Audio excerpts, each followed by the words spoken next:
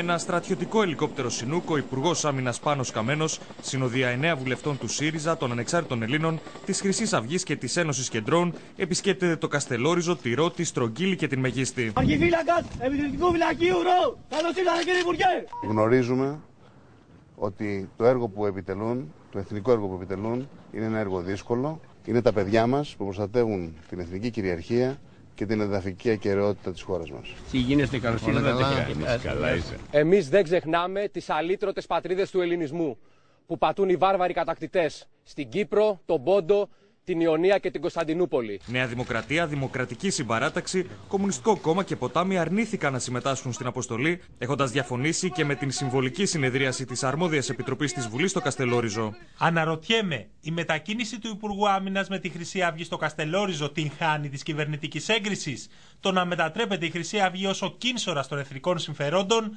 είναι μια γελιοποίηση ή όχι; Αυτό βοηθάει σε τίποτα τα εθνικά συμφέροντα; Με την έννοια αυτή θα έπρεπε να πάει σε όλη τη συνοριακή γραμμή μια αντιπροσωπεία της Επιτροπής. Τα λόγια και οι εσωτερικές εντυπώσεις είναι πολύ φτηνά μέσα για να κάνεις εξωτερική πολιτική και πολιτική ασφάλειας. Η σύνθεση τελικά της αποστολής με τους κυβερνητικούς βουλευτές, αγκαλιά με τους φασίστες της Χρυσής Αυγής, δείχνει ότι τέτοιες ενέργειες ανοίγουν επικίνδυνους δρόμους. ΣΥΡΙΖΑ ανεξάρτητοι Έλληνες και Χρυσή Αυγή μαζί στα ακριτικά νησιά. Με τιμητικές φρουρές για τον Κασιδιάρη. Παράσταση καμένου με άδεια τσίπρα. Η Εθνική Άμυνα, οι ένοπλες δυνάμεις και τα στελέχη τους δεν αποτελούν πεδίο πολιτικής αντιπαράθεσης.